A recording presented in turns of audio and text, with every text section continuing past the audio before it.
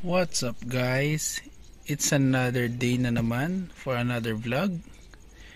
Um, sorry guys kung ngayon lang ako makapag-vlog dahil on the uh, last month lumipat kasi kami ng bahay. Ngayon nandito kami sa ano farm.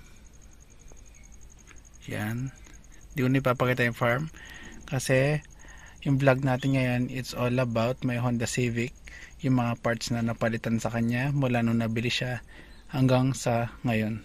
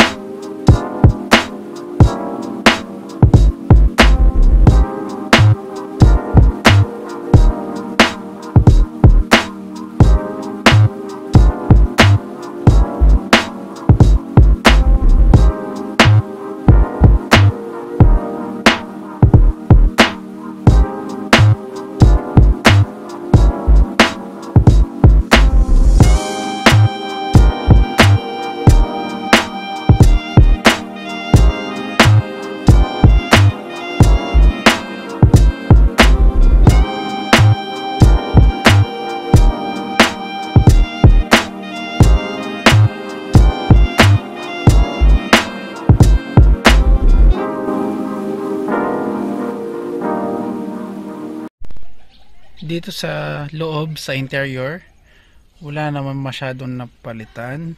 Aside dito sa um, panel gauge. Nagpalit kami ng panel gauge. Ako napalit ako kasi yung needle needle dito sa panel gauge is nung nabili ko putol. Kaya nakapagpalit ako ng panel gauge. Pero yung sakto yung nabili naming panel gauge yung mileage niya is same. Hindi naman siya masyadong same. Sa last 3 digits lang nagkaiba. So parang talagang um, same lang din dun sa mileage nung stock na panel gauge.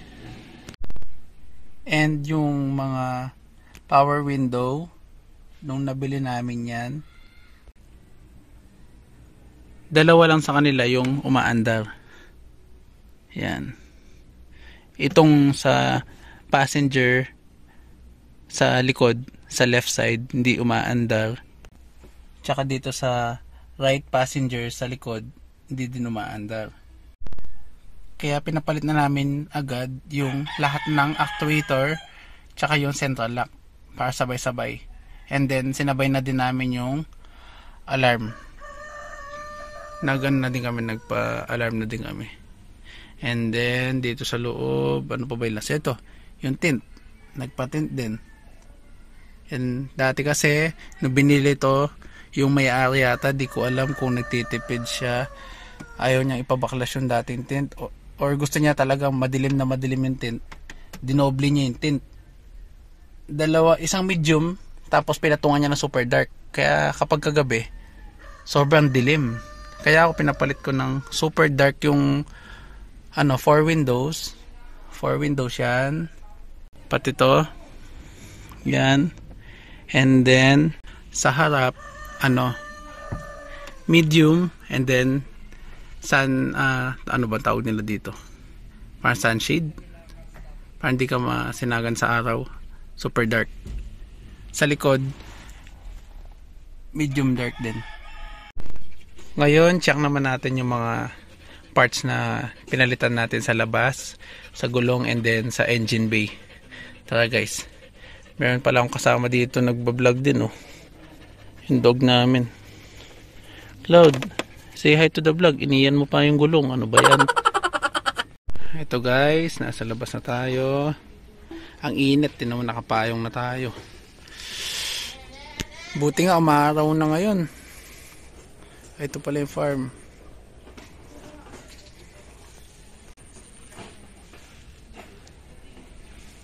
Yan, 360 walk around. Ayan. Okay. Pasensya na kayo sa mga gulong guys.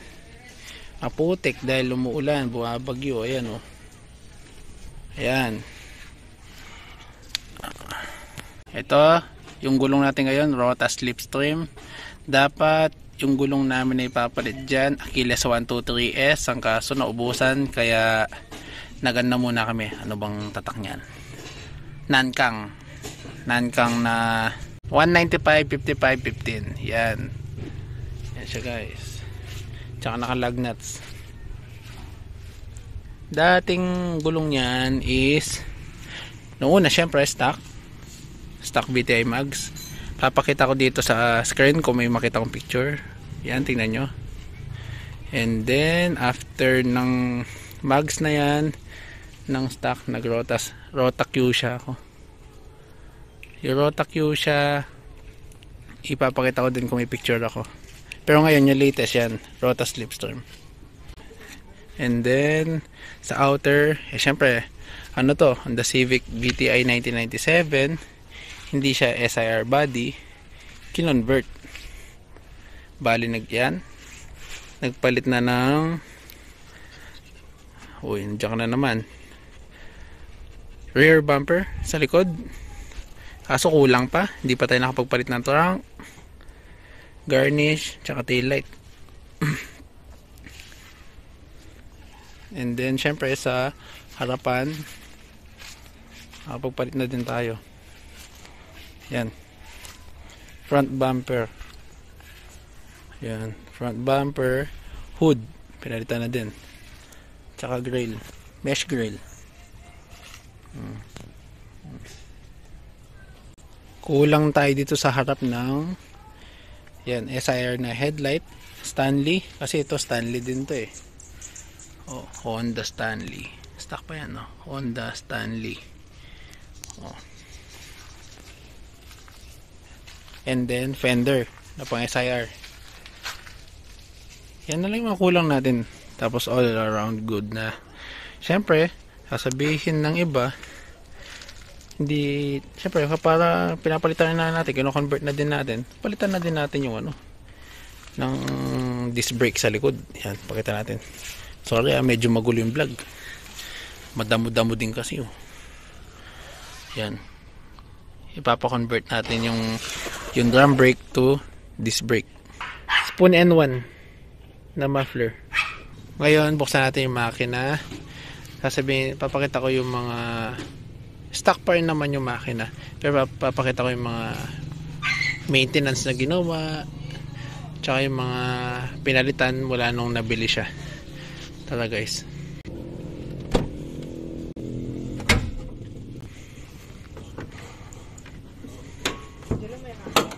Ay. Ayan yung makina natin ngayon. Pasensya na kung madumi. Wala kasi yung mudguard natin sa ilalim. Ayun no.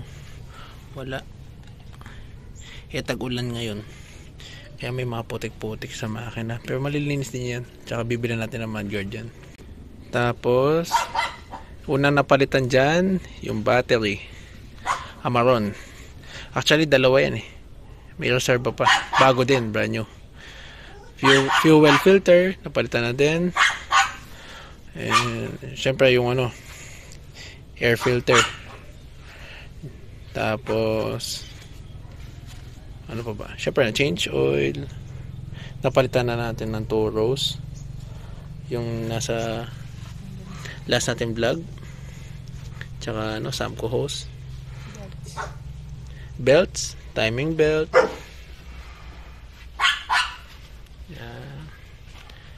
Lahat ng belt. Hindi ko na alam kung anong mga belt belt yan. Tapos compressor. Sa may binili akong compressor kasi hindi ko pa pinalitan kasi sabi pwede pa daw yan. Pero ito kasi sira yung bearing nito eh. Dyan o oh, sira yung bearing kaya kumakalaw. Pero okay pa naman. Pero nakabili na ako ng bagong compressor. Tapos yan yung nakatack in na ano, long condenser. Yan oh maluwag na siya dito. Ito ipapatakin ko pa to para hindi siya nakaharang na ganyan. Ipapatago ko yan dito. Tapos pa ilalim dun ito yung long condenser dalawang slim fan na high speed oh yan for cooling system mas malamig ano pa ba wala na Kasi ma- maganda talaga yung performance nito. Yan. Steering fluid, nakakulant. Wala na eh. Pero mga future ano natin, mga upgrades. Ito, yung intake, papalitan natin yan. Yung mushroom. And then, papalit tayo ng cam gear. Mga one to win, mga iba pang brand. Tapos, ano pa ba? Madami pa tayong papalitan eh. Headers, papalitin tayo. Pag-isipan natin kung 421 o 41. And then, and many more. Kung ano-ano na lang pagpapapalit natin dyan. Pati sa loob, madami din tayong mga up, upgrade sa loob. Papakita natin yan sa mga susunod natin vlog. So, ayun guys. Tapos ng ating ano, vlog. May Honda Civic walk around. Kung ano yung mga napalitan ko. Tsaka yung mga susunod kong upgrades. Kaya stay tuned lang guys for the next videos.